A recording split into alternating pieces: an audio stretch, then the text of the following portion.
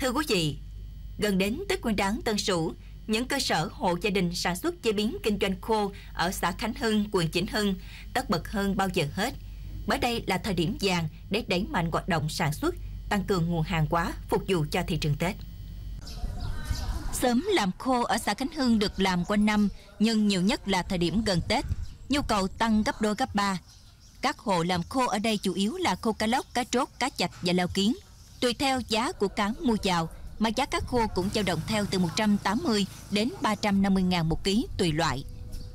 Ê, người ta mua người ta để dành ăn Tết rồi mối nó cho công ty này công ty kia người ta cũng dặn người ta bỏ cho công nhân nhưng mà cho tặng cho công nhân đó Để chuẩn bị cho mùa khô Tết năm nay, mỗi ngày chị Hà Thị Ngọc Hạnh phải sơ chế khoảng 50 kg cá các loại.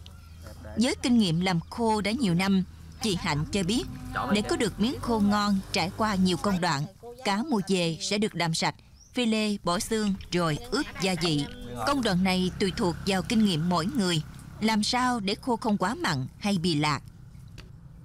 không có xài phẩm màu thứ nhất là mình ướp chỉ gừng với ớt với lạ rượu với lại bột ngọt thôi với cà no thôi chứ còn có khi bỏ cà no có khi cũng không bỏ cà no chứ không có đường tại dân Long An là người ta không có ăn đường bây giờ người ta ít ăn đường lắm Ngoài khâu ướp cá ra thì phơi cũng là công đoạn khá quan trọng.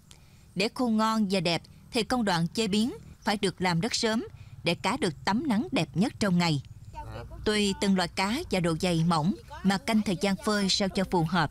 Đối với những loại cá như cá lóc, cá lau kiến thì phải mất từ 2 đến 3 ngày mới được một mẻ khô đạt chuẩn. rồi nắng á, nắng nhiều á mình mới phơi còn nắng ít là mình không phơi nắng ít mình phơi khô nó không có được ngon khi mà mình mần cá là ví dụ như mình sáng mình mần mình mần mà mình cảm thấy mà trời không nắng á, thì mình bỏ vô tủ đông quan hệ hôm sau trời nắng mình phơi Nhiều gia đình ở xã Khánh Hưng, huyện Chỉnh Hưng đã gắn bó lâu năm với nghề làm khô và xem đây là nguồn thu nhập chính. Mỗi hộ đều có bí quyết chế biến riêng để bán sỉ lẻ cho các chợ trong và ngoài tỉnh. Các khô dùng này không chất bảo quản, chất lượng tốt nên nhiều khách hàng tin tưởng lựa chọn. Nhờ duy trì và phát triển nghề làm khô mà thời gian qua nhiều hộ gia đình ở đây đã có cuộc sống ổn định, dương lên khá giả.